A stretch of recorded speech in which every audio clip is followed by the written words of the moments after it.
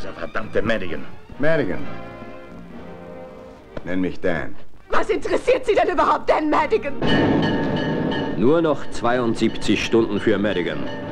Richard Whitmark als Detektiv Dan Madigan. Henry Fonda als Polizeipräsident von New York, der härtesten Stadt der Welt. Inga Stevens als Judy Madigan. Sie ist leidenschaftlich, aber zu viel allein.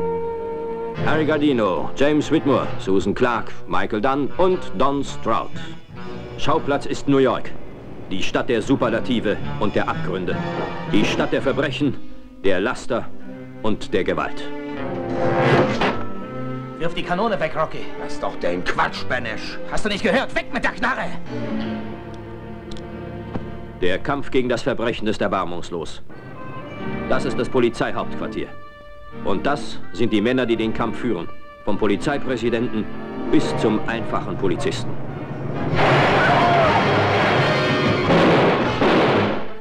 Ich erwarte Gerechtigkeit, aber aus dem Blickwinkel des Bürgers, nicht aus dem Blickwinkel des Staates.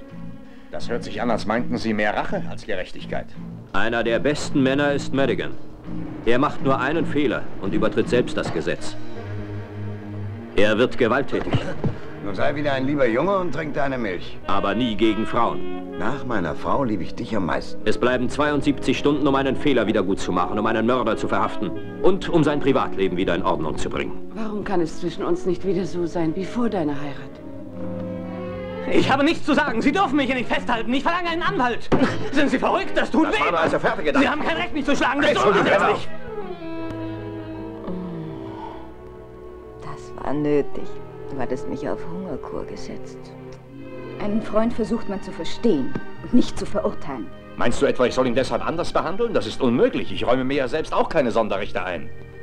Und wie vereinbarst du unser Verhältnis mit deiner überheblichen Einstellung? Quatsch, will auch so gehen.